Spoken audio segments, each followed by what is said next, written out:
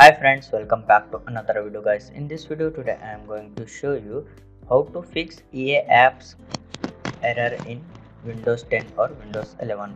Error is something went wrong. So guys, let's fix this problem. Just follow my simple steps. So without any time waste, let's get started.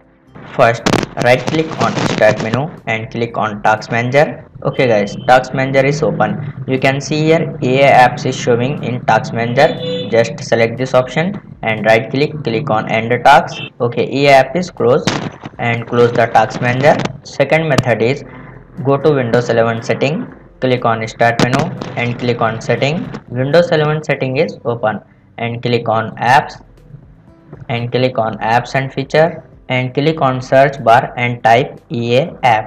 Okay like this and click on three dots and click on uninstall and again click on uninstall EA app is uninstalled in your PC and restart your PC again install EA apps in your PC problem is solved. So guys this is way to easily solve EA app error in Windows 10 or Windows 11. Thanks for watching my video please don't forget to like share and subscribe my channel and press bell on notifications see you next video.